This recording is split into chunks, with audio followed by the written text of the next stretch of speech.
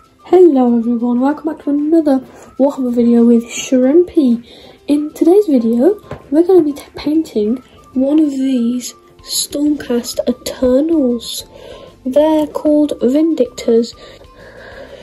But yeah, let's get into painting it then. Okay, so I've put the first layer of gold on now. So this should be all good. So I might put another layer, but we'll see how it looks. Next, I'm gonna do the blue on the Stormcast. So this is the blue, it's called Base Kantor Blue.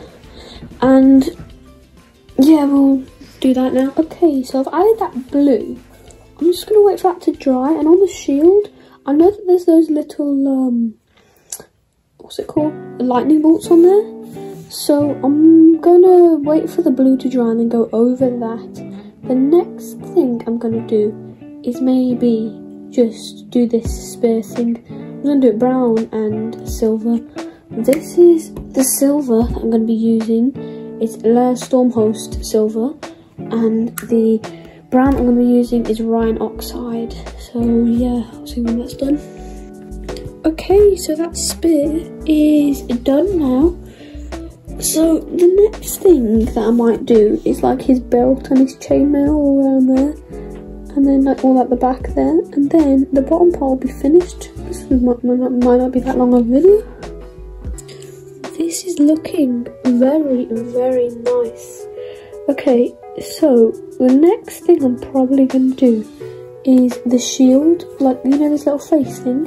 I'm going to do that with the lightning bolts. I might do that Corax white, which is right here. So yeah, let's do let's do that.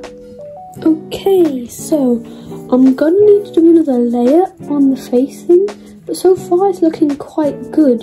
Now I'm gonna do the head of the Stormcast. So let's get into doing that then. Okay, so now I've completed the head, I've given him a beard and everything. So now gonna do another layer of that and just clean it up a bit and then come back. Hello, now this is looking very, very good. So now I think I'm gonna push some shade on it. There's this shade for Warhammer figures that is really good. I don't know what it's called. It? Where is it? Where is it? Uh, here it is. Is this it? Yep.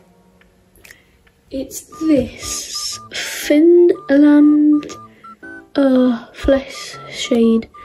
It looks really good when you put it on a gold for a stormcast. So I'm just gonna put that on and I might put some um, on the rest of it. But yeah, okay. Okay, so I've just done that and whilst we wait for that to dry, I'm gonna put some Nuln on the weapon and the shield and maybe his hair and his beard. So let's get into doing that. Okay, so here is the finished product. I think it looks really good. This was Warhammer with Shrimpy. Like and subscribe and see you in the next one. Bye.